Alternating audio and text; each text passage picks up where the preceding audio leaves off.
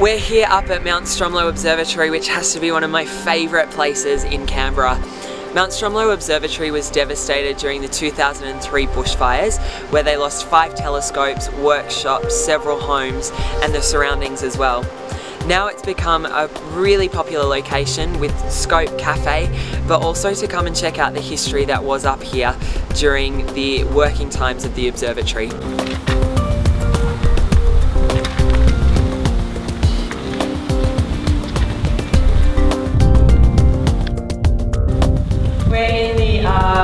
Burnt out observatories at Mount Stromlo.